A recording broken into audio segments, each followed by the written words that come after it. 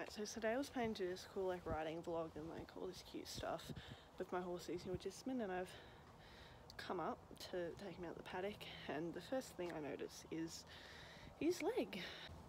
Um, he's busted it up, he's caught it on a fence or something, um, and it's, it's bad.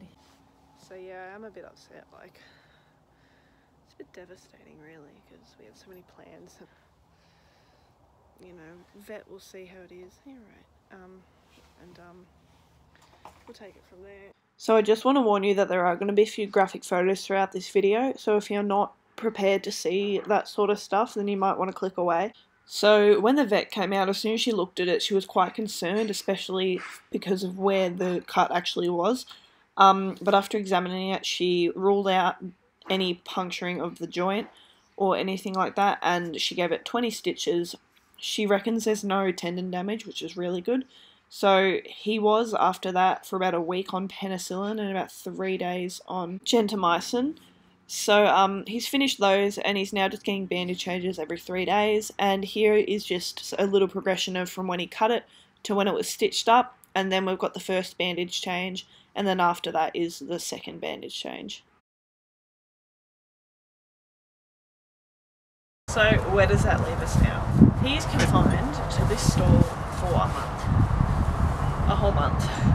My dumbass, when this first happened, thought this was going to be like a week sort of fixable thing. But no, he's going to be out for at least six months to a year, which is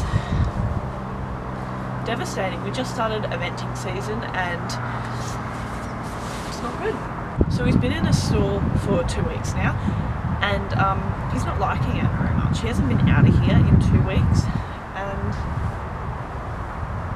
grumpy. He's grumpy, and um, he's been walking on it. Though he's on bute, he's he's doing a lot on it, which is promising, but also like kind of a bit.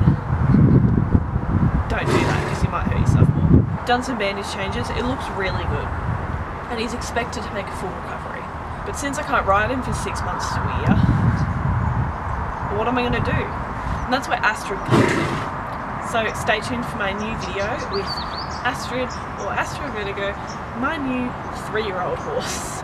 And yeah, stay tuned for updates on Allegro and on Astrid.